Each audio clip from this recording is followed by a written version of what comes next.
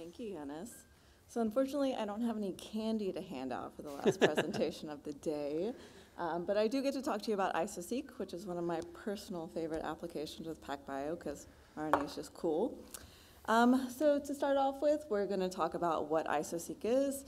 I know a lot of you are familiar with the application, but we do have some people um, that are still learning about it. Who is using IsoSeq? What you can now do with one SMRT Cell on the Sequel II system, and where you can learn more information. So what is IsoSeq? So we've had quite a few presentations over the past two days, and a couple of them specifically touching on IsoSeq. And I'm sure many of you in the audience have worked with IsoSeq, um, so this will be a refresher for you. But IsoSeq is PacBio's full-length cDNA sequencing. And since we're sequencing the full-length isoform, so from 5' start to 3' end, we're getting multiple passes at high accuracy, HiFi data. There's no assembly required, as noted in my title. You can do this in a targeted or whole transcriptome method. With IsoSeq, you can discover novel genes and isoforms. You can use this in conjunction with your short-read RNA-seq data. This is really cool because you can increase the accuracy of your RNA-seq data. Um, quantification at isoform level resolution. Another big application is doing genome annotation, and you can do this with or without a reference genome. So now you can do IsoSeq in a one-day library prep, which I will go over in the next slide. You can run it on one SMRT Cell on the Sequel II system, and we have full bioinformatics solution for you. So we have our IsoSeq analysis pipeline, which will take the raw data, generate that HiFi data and output full-length non-concatemer reads. And if you have a reference, you can also map it to the reference with our software. So on to the library prep. Um, it was something we, we'd been asked for for a while to move our IsoSeq prep over to the Express Template 2.0, and that finally came out about two months ago. And I know a lot of you raised your hands when we were asked if um, you had a RS2 or RS back in the day. Um, so a lot of you are familiar with the older protocol that wasn't quite as straightforward or easy to go through. Um, but the benefits are uh, massive and the workflow is very similar to what you are used to. So you'll start with your total RNA. We're going to do the reverse transcription. We have our own template switching oligo with PacBio. Once you have your cDNA, we go in and do the PCR, and this is where you're able to do your multiplexing, so there will now be dual indexed. Um, and then once you have your amplified cDNA, it goes through our standard Express 2.0 workflow. So some of the main improvements, number one is we drastically reduce the amount of total RNA that you need to go into this prep. So previously it was on the microgram level. We now recommend going in with 300 nanograms, and we've been successful with down to 60 nanograms. So because all of our Express 2.0 preps are additive only, we see much less handling-induced cDNA damage. Um, the significant workflow, I mentioned multiplexing, so we have 12 validated barcodes that you can go into that PCR step with to multiplex. And the biggest benefit is that there's no size selection required. Um, this actually helps us in having and being able to reduce the amount of total RNA that you need to go into that prep. Um, and you'll see in a later slide that even without the size selection, we're still getting the shorter inserts and we're seeing uh, isoforms out to 15 kb and beyond, which is the one library prep. So what does IsoSeq look like right now on the Sequel II system? This is a Alzheimer brain sample that was run on our 1.0 chemistry. And the things I want to point out is that you can see that there were about 5 million reads, and 85% of those are full-length non-concatemer reads. So that's approximately 4 million reads from one single SMRT Cell. And with this data, you'll get the FASTA file from your IsoSeq output. You can take that into any of your tertiary analysis. I know Anna talked about quite a few yesterday. Um, SQANTI 2 is one of our favorite ones. Who is using IsoSeq? A lot of people. I'm sure a lot of you have used it. Um, it's one of our biggest applications and it's highly published. So I want to touch base on two specific recent publications. The first one came from Alex Dainis, who was in Euan Ashley's lab at Stanford. So Alex is really interested in looking at hypertrophic cardiomyopathy, or HCM. So for this experiment, she had a 21-year-old patient female who had severe HCM. Genetic testing had already revealed that there was a mutation in the MYBPC3 gene intronic region, but there was no family data and no existing literature to support this mutation. So what Alex wanted to do is she wanted to go in with a targeted isoseq approach. Um, so she used IDT probes and she sequenced um, control samples and multiple HCM heart samples. So the targeted isoseq data was able to reveal an intronic mutation caused an alternative isoform, which is AS1.1, in the HCM patient to skip exon 20. So she also did targeted genomic DNA. So with the genomic DNA and cDNA pull down, they were able to assign the different MYBPC3 isoforms to alleles.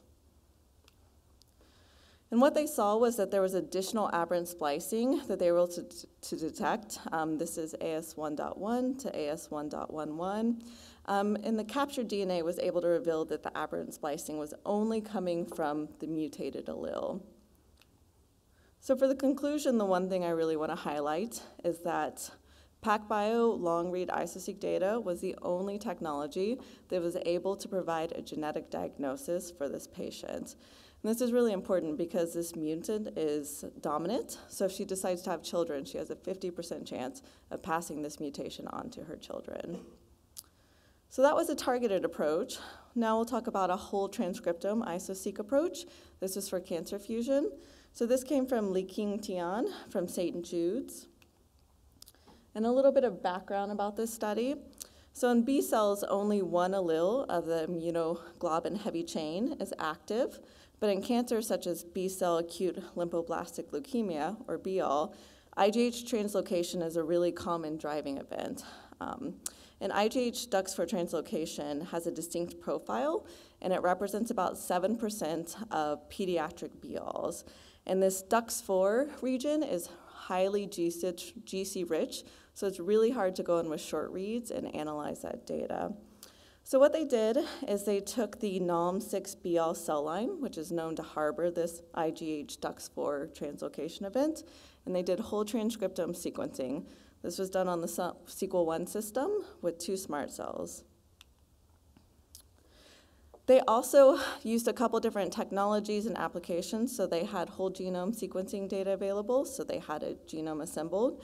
So they were able to map back this isoseq data to that genome and they were able to find full-length transcripts of functional IgU, IgH DUX4 fusion, and antisense DUX4.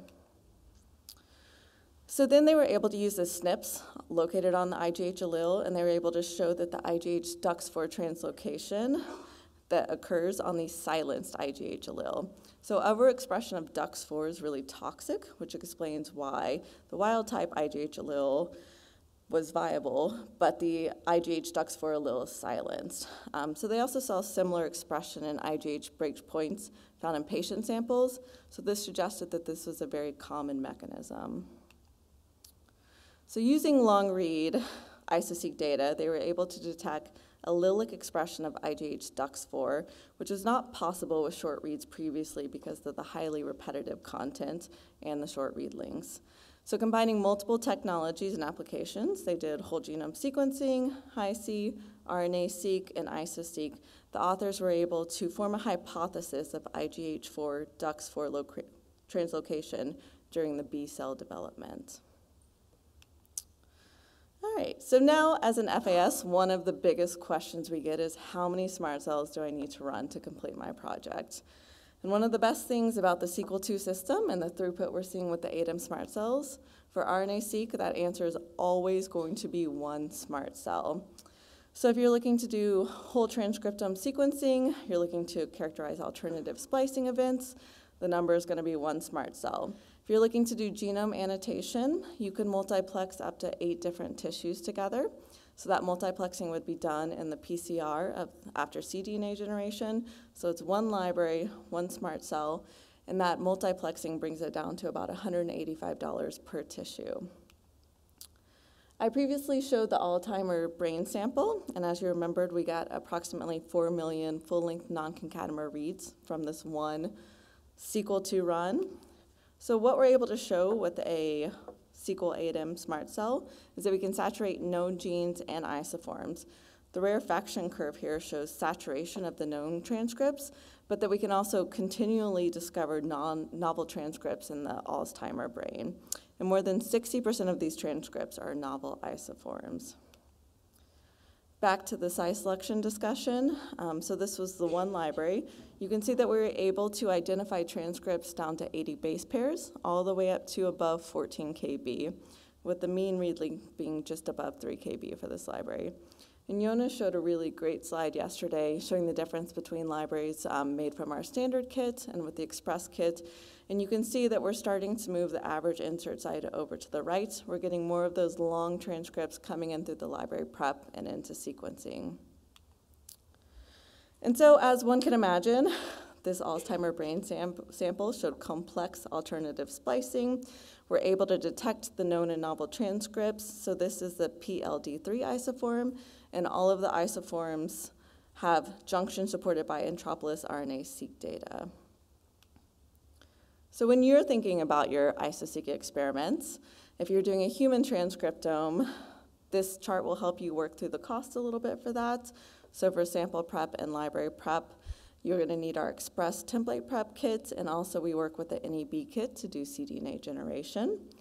Now, sequencing on the Sequel II system, we recommend running a 24-hour movie with a two-hour pre-extension, and then going into data analysis on SMRT Analysis using either the IsoSeq pipeline or the IsoSeq pipeline with mapping if you have a reference. Um, and for those of you that don't have an instrument but would like to use our software, we have it available on our website. The license costs nothing, so you're able to play with the data if you would like. Now, if you're looking to do a genome annotation, again, the answer is one SMRT Cell is needed for this project. If you have a good reference genome, you can always go deeper for a better reference gene set. You can also use tools to correct your genome. And if you have multiple tissues, we recommend multiplexing up to eight of those tissues on one single SMRT Cell.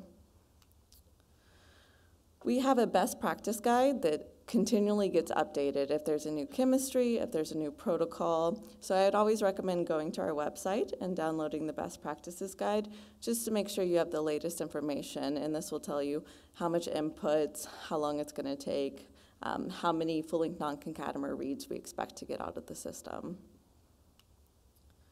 All right, and lastly, where can you learn more?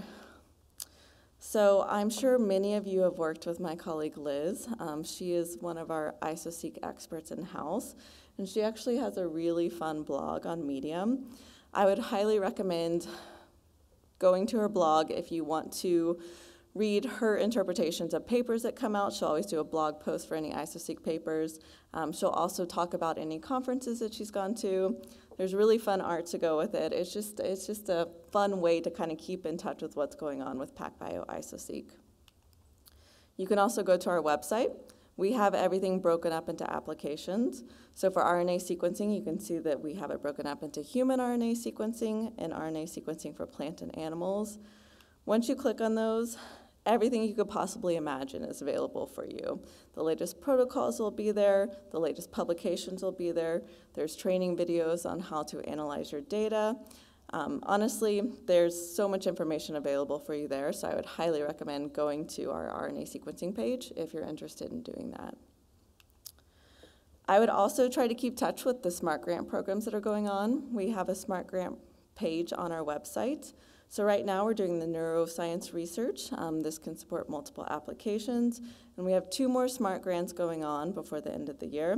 We have a human biomedical research SMRT Grant, and then a new fun one called Celebrating Advances in SMRT Sequencing. So this is also supporting multiple applications, and that one will start in November. And lastly, if you would like to play with IsoSeq data yourself, we have released the Universal Human Reference. We ran two SMRT Cells on the Sequel II. That data is publicly available, so you can download that and get a feel for it yourself. And if you're interested in that Alzheimer brain sample I was mentioning, um, right now you can go online and download Liz's poster from AGBT this year. And that data release is pending, so hopefully that will be available for you soon as well. And I'm right at 15 minutes. Thank you. Yeah. Great.